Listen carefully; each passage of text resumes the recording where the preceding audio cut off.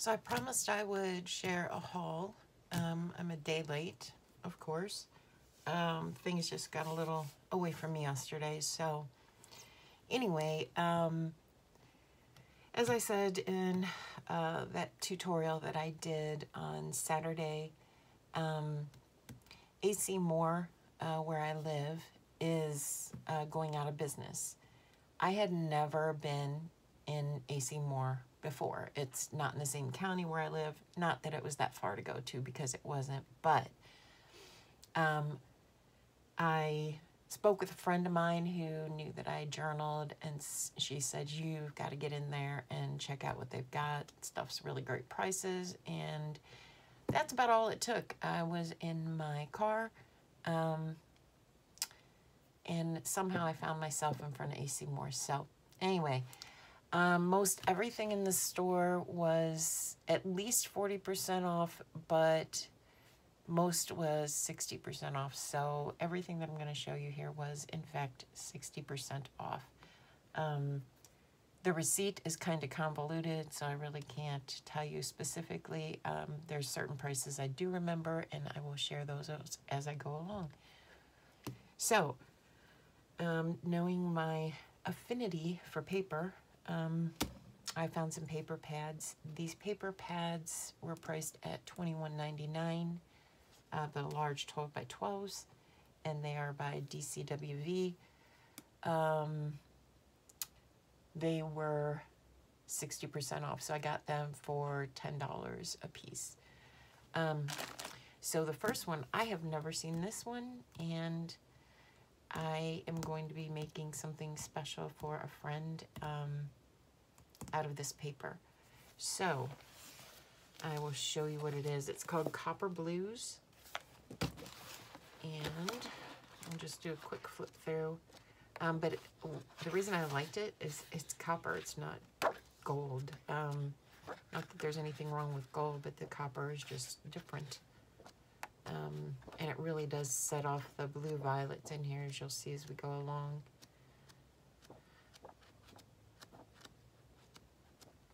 Like that. That is stunning. And that, and that. That paper is beautiful too. That.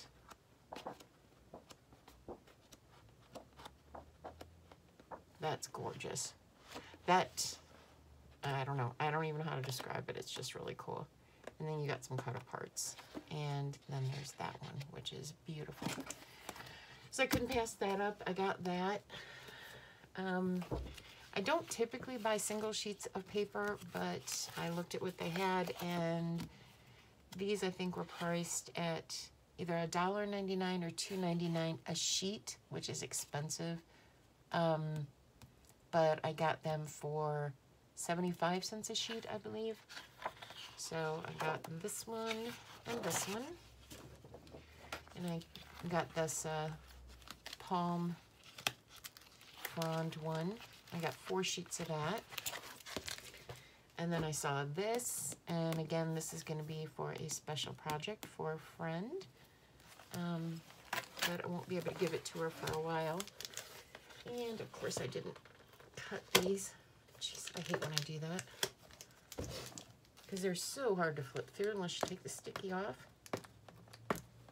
But these are beautiful. They're like real deep, rich jewel tones.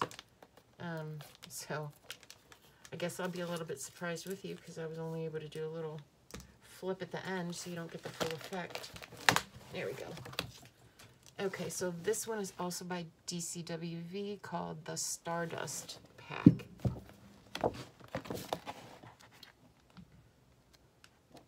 Really pretty paper. That's gorgeous. Oh, hold on. I went a little fast. I didn't see the top. You may have. Oh, I like that, how it just hits one corner. That's really pretty. Like I said, I've never seen these paper pads before, so and trust me, I look at paper pads a lot online to see new things. And I like to think that I kind of know most of the ones that are out, but this one, I, again, I'd never seen. I think it's beautiful. Ah, that's gorgeous. So, and there, with all the constellations. Really cool. Um, so anyway, got that. And the only other paper pad I got was this one. And um, my friend Judy has this, um, but I had never seen it either. And it's just simply mostly like lined and grid paper in all different colors. So it's nice for kind of filler paper um, in your journal to use with your specialty papers. Um, I don't remember the price of this. I want to say it was like two or three dollars. It wasn't much at all. But, you know, nice places for journaling in a book. Okay, I'm trying to do this quick because my battery's going to run out and I got a lot of stuff. Um, so I got three of these, I don't even know what they are. They're just like scrap bundles. Um, but there's some really cool images in here. And I got these nominal, nominally priced. I think each of these were like a dollar and this one was 50 cents or 75 cents. But I did open one up and there's just some really cool things in there. Um, so this one had a pound, this one had a pound, and this was a half a pound. I guess how they measured it out. Um, but kind of cool, and I thought it would be fun to like slip some of these into Happy Mail or for swaps or something. So I got that. Um, they're embossing folders where if you bought four, which these were all 60% off, then you got two free. I'm up for that challenge, so I took it. Um, I got two of these because I'm giving one to a friend who likes to emboss things, but this is a stone uh, embossed pattern. And these are by uh, Love Nicole.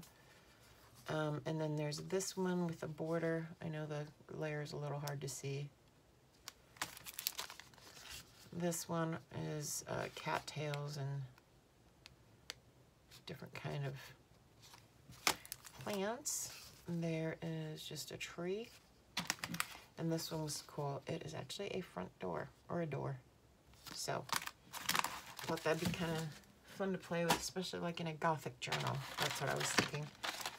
Um, found the fleur-de-lis. Of course I did after I finished my medieval journal. That would have been nice to have in there, but I can still add some little bling to it. Um, I got a pack of the Tim Holtz Corners. Again, I don't remember the price of this, um, but it, you know, less less than half price of what you would pay. Now these I do remember the price of, and you're gonna kind of flip because I saw this one and I thought, oh, gotta have it for steampunk. Um, but these were priced at originally $7.49 and I think each one of these rang up right right at $3 or a little bit less. So I got that one, which is uh, just the stencil, and this one is the stencil and stamps. So, yeah, got that. Um, I needed two two-inch punches. Well, I only needed one, let's be honest. But I saw the scalloped one, it was cool. So each of these originally were $19.99, and I believe I paid like $7 for each one of these, and they're really heavy. Um, I got just uh, metallic paint markers. I got two Copic uh, pens or alcohol ink pens. One's in an olive green and one is in violet, which are my two favorite colors, green and purple. Um, some glue sticks. This is permanent or extra strength uh, glue stick. And they didn't have any more of that or I would have got more of the bigger ones. That was the last one I got there. And then this is an embellishment glue stick that you can use on wood, fabric, tissue, paper, cardboard, photos, etc. Um, so I got two of those. And I gotta make room because I got more stuff. Um, I got two of these packs, and I've never seen these kind of clips, but I thought they'd be really cool at the on the spine of a journal to hang a tassel. Um, And honestly, if you guys know what kind of clips these are, let me know. But they're really cool. Um, I don't know if they're just like hinge clips, pinch clips, alligator, I don't know what they call them. But I got two packs and they were super cheap too. Uh, I want to say like a dollar twenty-five for each one of those. I picked up four different types of gold ribbon. Um, I use metallic ribbon a lot and I honestly really do want to start my Egyptian journal soon for me. Um, and then I am making a custom order journal now for somebody ordered it for their eight-year-old daughter. And her favorite colors are pink and purple, which uh, even when I was a child wasn't my favorites, but these are pretty with the little sparkles in them. So I'm about done with that journal, thank goodness. Um, okay, so then you, anybody uh, if you didn't see it, Judy P's Crafty Journey, she's got a video where she showed a Dollar General haul and showed storage boxes, which I have plenty of these storage boxes. However, at half price, I went and I got three because I have a cart and I load my cart up and I go craft in the living room so that I can watch TV. Um, unless I'm doing painting and I'm right here at the table but these are nice um, when I start to put stuff over on the end table next to me instead of back in the cart. So the things that I'm using a lot of outside of the cart, I can kind of keep in here and it looks nice and neat and contained. And uh, this one was half price. I got it for a dollar. Um, I got this one. It didn't have anything on it other than, you know, obviously the flowers. It's a pretty big one. It was $8, so I got it for four. And then I got a big old Mac Daddy one over here. Um, and this one is huge. Uh, I don't even have the camera up enough. But it says be your own kind of beautiful. It was the only one that I thought wasn't really sickening that they had left. Um, and it is huge. So that'll be nice for putting paper and stuff in, anything that's larger.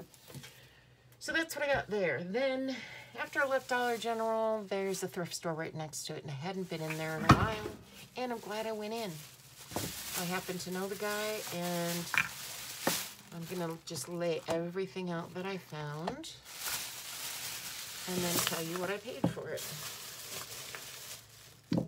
Because he made me a really good deal on all of this. That one's got to be glued back on, but that's no big deal. Um, okay, so all of this. I saw this, I, I dug in a basket, and I'm like, okay. Everybody, I think most people know that I absolutely love anything Egyptian. I have an Egyptian altar in my room, and yes, I love Egyptian. I love Egyptian. We'll put it that way. But I saw this, um, and I, I don't know where. I can't tell by this where it was bought, but it, the original price had been $7.95. There are no pages missing in it. It's brand new. Um, so it kind of looks like parchment paper. And he didn't tell me the prices of everything. He just gave me a, a ballpark on everything, and I went, sold. So I picked this up for me. I thought that would be nice to have in my purse.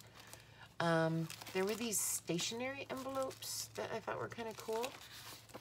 Um, they're just plain white on one side, but that on the other, and I thought that would be nice for, you know, put a couple of those in for a Happy Mail or do something with them in a journal. I don't know. So then I looked through, he had a whole bucket full of stamps and wood stamps. So I searched through and I found this one Sun, Moon, and Stars. This one with the daffodils in the pot. This one with a leaf. This one with, uh, oh, this is a Stampin' Up one too.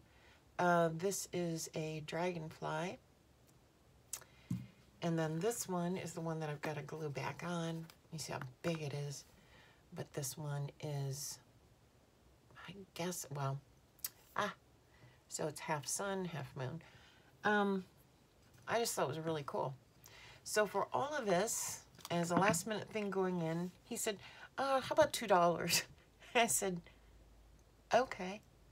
So anyway, that is my haul, guys. Um, and I will talk to you again when I have another journal or something to share. Everyone take care. Bye.